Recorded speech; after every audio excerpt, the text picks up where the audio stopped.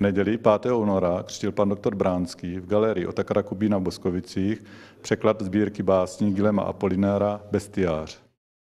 Bestiář je literární útvar, který vznikl ve středověku. Jsou to vlastně povídky o zvířatech.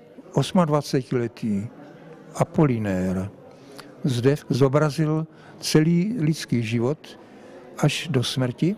Ta knížka vznikla, nebo ten překlad vznikl v roce 1991-92. Přeložil jsem ji bez nějaké naděje, že by někde vyšla knižně a ukázal jsem ji svému příteli a on se mých překladů ujal a na pokračování vycházely k lidové demokracii jednotlivé básně.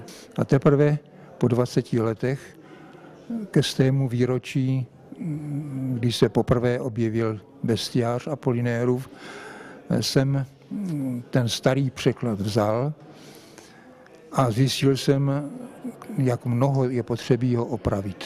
Opravil jsem jej, skonzultoval jsem některá choulostivá nebo nejasná místa s rodilými francouzi. No a hledal jsem vydavatele, nakladatele. No samozřejmě jsem se obrátil na doktora Šalého, s kterým jsem vydal téměř všechny své knihy. A řešili jsme problém získat pro tu knihu ilustrátora. Naštěstí se mně podařilo přemluvit, snad to ani dlouho netrvalo, mistra Borna, aby se té ilustrátorské práce ujal.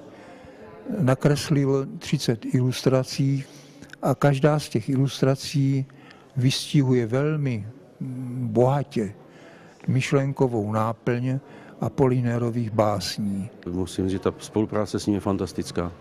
Jednak on ví, co chce, protože je to teda pan malíř, eh, takže on rozumí velice dobře těm technickým věcem a je, eh, řekněme, má pochopení i pro nějaké věci, takové ty, eh, ty ozdobné, drobnější, grafické, které třeba dělala právě paní, paní Rybková. On nám třeba dal na obálku jenom jednu, jednoduchou kresbu a říkal, dělejte si s tím, co chcete. A paní Rybková tu kresbu položila takové té čokoládové hnědí a udělala ji jako v negativním eh, provedení. A když to Born viděl, tak řekl, no to je přesně to, co já jsem si představoval. Takže spolupráce fantastická. Jestliže bylo Apolinérovi 28 a byla to jeho první básnická sbírka, tak nějak mně se podařilo to přeložit ve 82 letech jako svou poslední básnickou překladatelskou věc.